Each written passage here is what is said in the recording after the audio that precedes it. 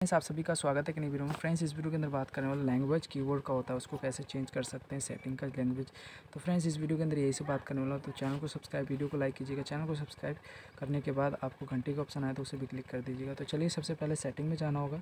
Setting में जाने के बाद आपको इस तरीके का इंटरफेस दिखेगा। तो सबसे नीचे जाना है और यहाँ पर क्लिक करना है इस वाले ऑप्शन पर उसके बाद इनपुट लैंग्वेज पर क्लिक करना है और यहाँ से आपको डिफरेंट टाइप्स का आपका लैंग्वेज देखने को मिलेगा। डिफ़ॉल्ट पे क्लिक करके जी को भी सेट कर सकते हैं।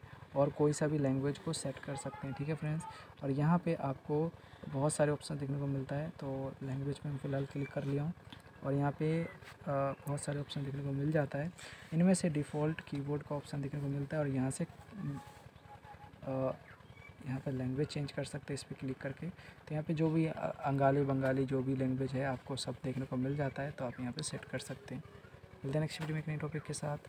और कोई भी सवाल हो आप मुझे कमेंट कीजिएगा। मैं डेफिनेटली आप लोग का रिप्लाई करूँगा। बाय